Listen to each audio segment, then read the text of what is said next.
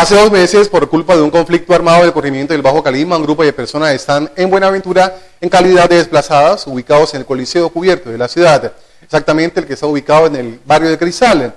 El caso está avanzando, pero veamos qué pasó con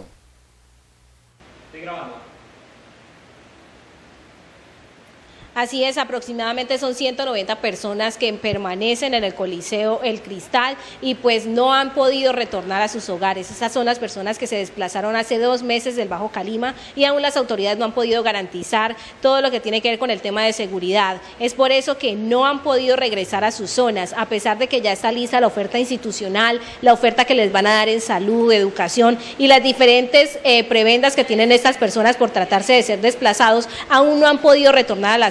porque la fuerza pública no ha garantizado de que este hecho victimizante no se va a volver a repetir debido a que todavía hay problemáticas de seguridad.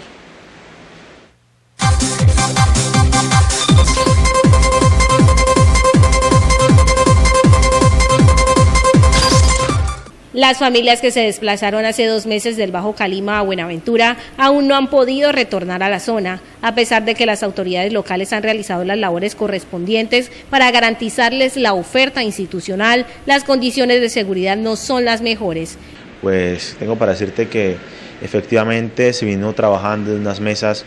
eh, en un comité, como lo establece la ley 1448, en su comité de retorno. Eh, se llegó a unos acuerdos con la administración distrital frente a cuál iba a ser toda esa atención que se le brindará a la población y, cómo se iba a garantizar el regreso de la comunidad que está hoy en, las instalaciones del Coliseo, pero eh, lastimosamente eh, no hubo un parte de seguridad y por ende pues eh, no se pudo adelantar el retorno porque el, el parte de seguridad es un requisito indispensable para que las comunidades puedan regresar a su entorno en aras de garantizarle su derecho a no repetición. Los que permanecen en el lugar reciben ayudas del Comité de Víctimas mientras pueden retornar a sus casas. En estos momentos eh, creo que están alrededor de 190 personas que siguen allí. Igual la unidad de víctimas sigue haciendo un trabajo importante en, el tema de atención, la Secretaría de Convivencia y Ministerio Público eh,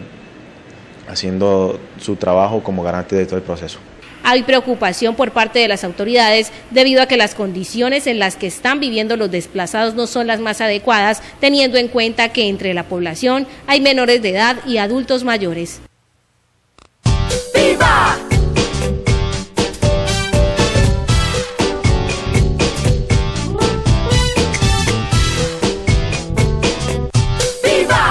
Y visita el centro comercial Viva Buenaventura, en donde encontrarás las mejores marcas y espacios de diversión para toda la familia. Para comprar y gozar, Viva Buenaventura, ¡Viva!